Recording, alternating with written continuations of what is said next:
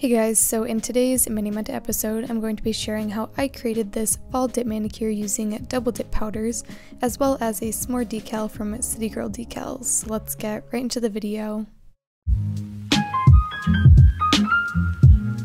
Alright, so I'm starting off with my Clean and Prep Natural Nails, and I'm going to go in with a thin layer of my Sparkle & Co. pH Prep Liquid. And this is a nail dehydrator which will prep the surface for the dip powder application. And then once that is applied, I'm going to follow that with a thin layer of my UNT Peel Off base coat, and this is going to allow super easy pop-off removal of my dip powder manicure. So I'm just applying a nice even thin layer to all of my nails, and then letting that dry completely before moving on.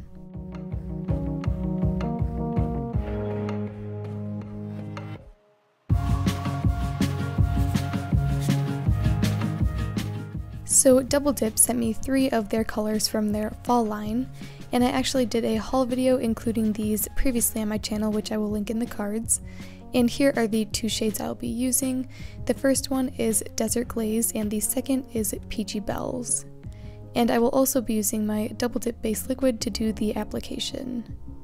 So I'm starting off with my pointer and ring nail, and on these two nails I'm going to be using that medium to light tan neutral color and this is just a solid cream and I'm going to do two dips to get full opacity.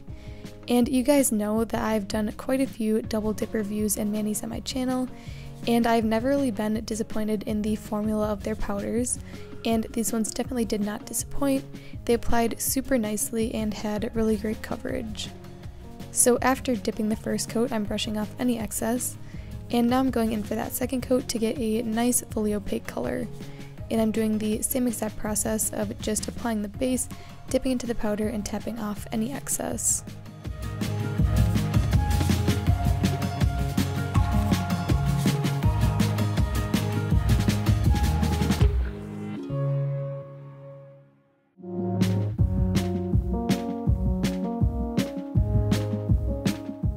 Then I'm dusting off the nails one more time, and now I'm going in on my middle pinky and thumbnail with this beautiful sort of off-white cream shimmer color.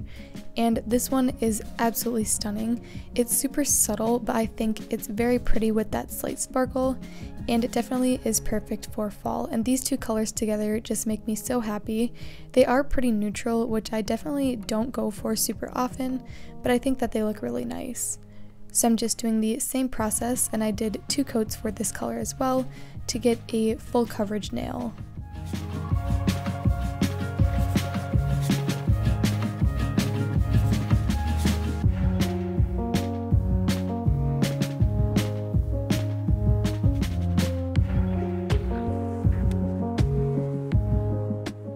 Then I'm just dusting off any excess color, and now I'm going to go ahead and clear encapsulate using Double Dip Clear Dip.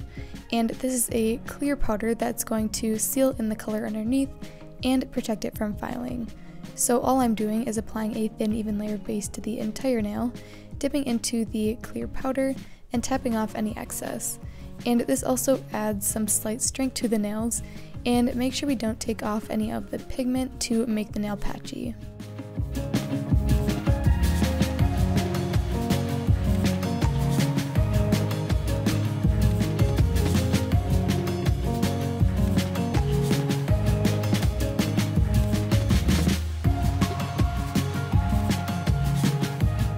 And after dipping, I'm brushing off any excess powder on the skin and nails.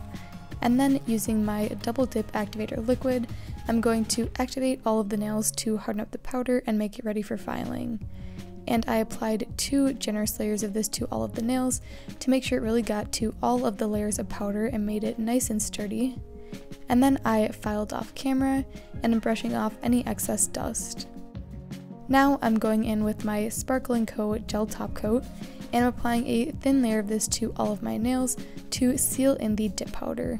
Now I will be going in with a decal on my middle nail and I find that the decal better adheres to the gel top coat surface so that's why I am applying the layer of top coat first, then apply the decal and then seal it in with another layer of top coat just in case you are curious. So I applied a nice even thin layer to all of my nails, wrapped the free edge, and then cured for 30 seconds.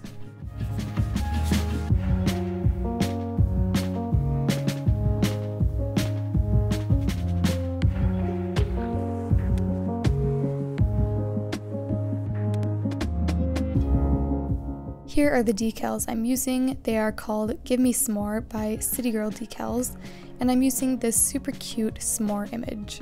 And I'm just going to cut it out to size, and you really want to cut as close to the design as possible without actually touching it. Then I'm submerging it in water for about 20 seconds, and after that I'm pulling it out with a tweezer and slowly sliding off the decal onto a makeup sponge to soak up any of the excess water. And once it is fully dry, I'm going to pick it up with my tweezer once again and then place it in the center of my nail. Now I wasn't expecting this decal to be as sheer as it was, so I'm glad I had a lighter color underneath so it could show up a little bit better. But I would definitely recommend applying these decals over white so you can really see the design. But anyway, I still think it turned out super cute, and I'm going to seal it in with another layer of top coat to make sure it doesn't come off. And then I'm going to rehydrate my skin and nails using my favorite Candi Skincare Cuticle Oil.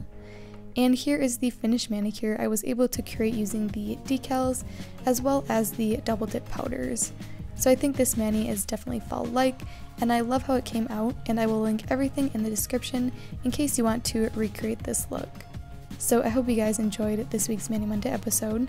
If you did, be sure to give it a like and subscribe down below and I will see you in the next one.